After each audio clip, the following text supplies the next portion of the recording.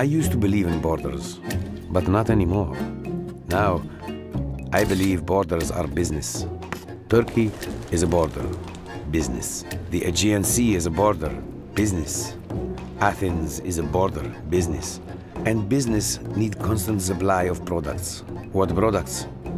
People, like myself and Maya. Τελικά γιατί αυτό το δάτο. Εγώ τη θάλασσα και είναι το πιο κοντά έχω στο Σωσίβι.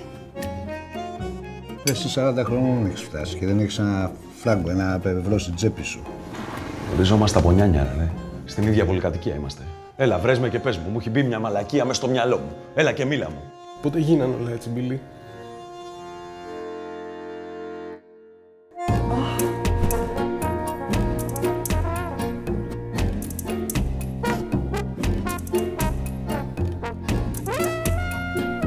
This money is all the money in my life, okay? I have my little daughter. It's too dangerous to go with in, in Greece every day. The people they die is not not not not uh, right. It's too too dangerous with a little child.